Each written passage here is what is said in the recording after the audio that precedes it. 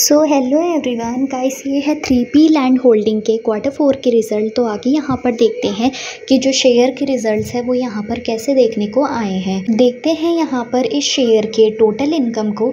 तो यहाँ पर ईयरली बेसिस में जो इनकम है, वो around forty six point eighty four lakh था, जो क्वार्टरली बेसिस में eighty eight point sixty two lakh यहाँ पर हो गया है। क्वार्टरली बेसिस में शेयर की इनकम यहाँ पर जो है, वो इंक्रीज़ हुई है।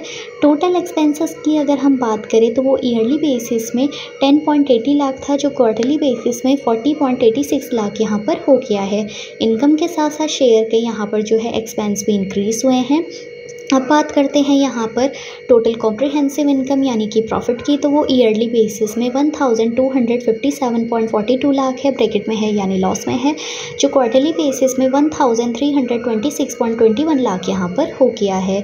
अब बात करेंगे अर्निंग पर शेयर की तो वो ईयरली बेसिस में ज़ीरो पॉइंट फिफ्टीन पैसे था, जो क्वार्टरली बेसिस में ज़ीरो पॉइंट ट्वेंटी पैसे यहाँ पर हो गया है।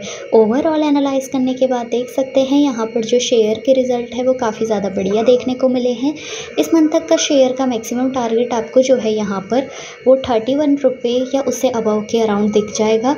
तो होल्ड करके रखना चाहे तो आप इस शेयर को यहाँ पर जो है नेक्स्ट क्वार्टर तक या मिड टर्म के प्रस्पेक्टिव से होल्ड कर सकते हैं। ज़्यादा लॉन्ग टर्म के प्रस्पेक्टिव से भी यहाँ पर आपको होल्ड करके नहीं रखना है।